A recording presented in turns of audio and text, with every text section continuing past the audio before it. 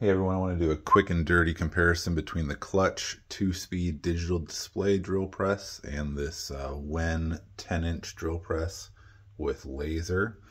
Um, they have very similar capacities.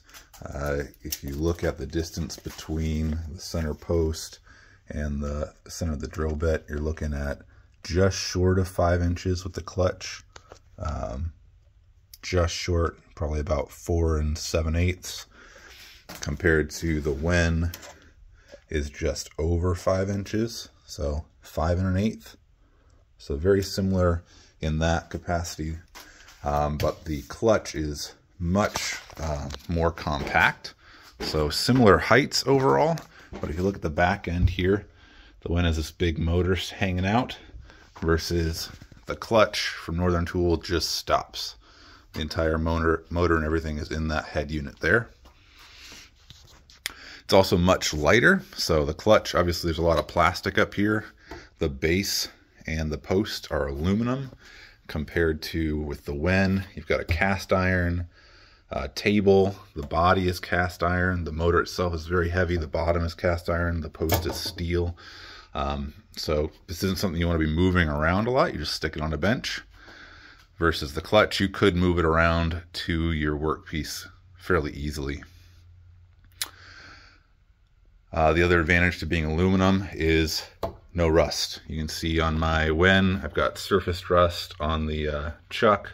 I've got surface rust on the the post here, even though I've wiped that down with oil a few times to try and prevent it. Same thing with the work table.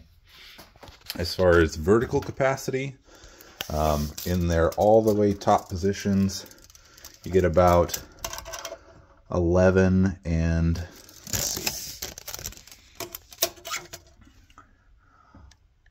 11 and a quarter roughly to the base here compared to only about eight and three quarters over here. Sorry for the bad camera work. Um, of course, with the Wen, if you need to fit something taller inside here, you can just slide the table out of the way and then you get a lot more room here. So in that regard, this is taller. Um, but an advantage to the Klutch here is that the entire motor unit moves and you can move it all the way down. So if you loosen this bottom support here, the entire motor unit will travel along the track and you could theoretically put it on top of something and then drill down through the base. So put the entire base on top of a larger board or larger object and drill straight down into it. That's something really unique about this style that opens up a lot of possibilities for how you could use it. Also, when you're talking about spindle travel, um, this Wen never had a ton. You can see how much is moving there. It's under three inches. I don't remember exactly, maybe two and seven eighths or something as far as spindle travel goes. The Klutch technically is like just over three inches, three and eighth or something. But if you've got this loosened up, again, you can travel the entire motor unit along its entire length. So you know, sky's the limit really on far as far as travel length when you're in that condition. Um, the Wen is just a five speed. The reason why I'm replacing it actually is because its slowest speed is only 600 RPM, which really isn't great for drilling hard steel. So works great for wood, but not great for steel. The Klutch is really customizable and it has a digital display. So it just has a, a knob to change the speed and it'll tell you how fast it's going.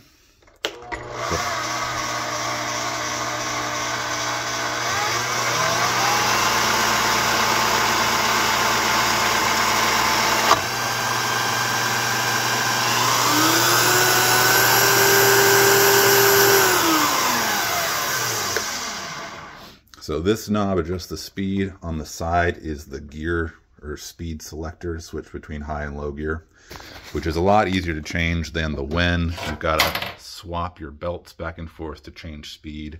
So it's kind of annoying to do.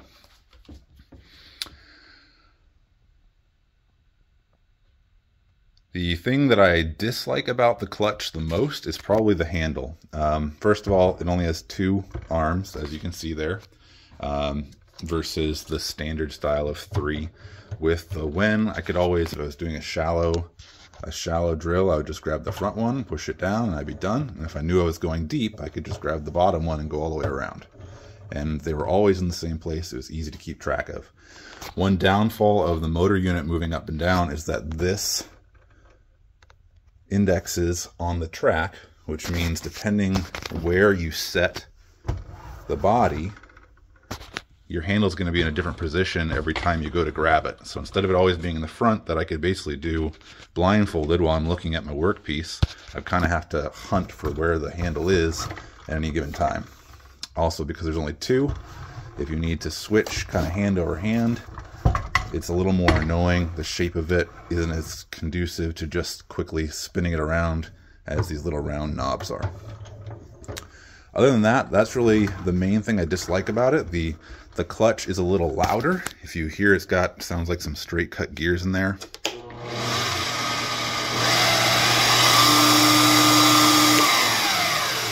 So when you get to the higher RPMs, it can get kind of loud versus the Wen. It's a nice low hum. It honestly just sounds like quality. That's what you get with a, a belt-driven motor. It has a classic drill press sound that's just a little more pleasing. But I'm not choosing my tools based on how they sound, so that's not really a big deal to me. The electronic display, the ability to move it up and down further, the light weight of it, easy to move, is a big deal, as well as the clamps, the built-in clamp. You just lift it up to how high you need it, spin it around, and then tighten it down, and it locks itself in place. So it's always at the ready, easy to just spin out of the way, versus this toggle clamp that I've been using. It's easy to use in most cases, but on this small of a table, it's in the way a lot, and you can't easily change where it's at. It just has to ride in that slot. There are better solutions to this, but this is a, a cheap one that was easy to have, and I gotta say, I like the Klutch's a little better. All right, that's all I have to say on it. If you've got any questions, drop a comment and I'll try and answer.